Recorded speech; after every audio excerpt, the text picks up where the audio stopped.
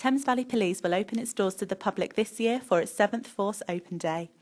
You're invited to see the police helicopter and team, meet the mounted and dog sections, learn about different specialist police departments, and tour the police museum.